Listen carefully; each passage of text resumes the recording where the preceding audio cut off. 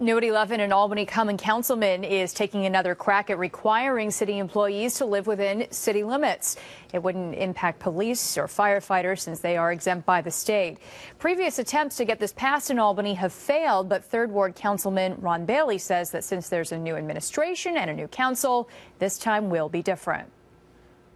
We have to find a way to help build this city back up, you know, and maybe requiring that people that work for the city of Albany and live in, for the, live in the city of Albany, that'll help build up our tax base, that'll help build up our economy, that will help the mom and pop stores in the city.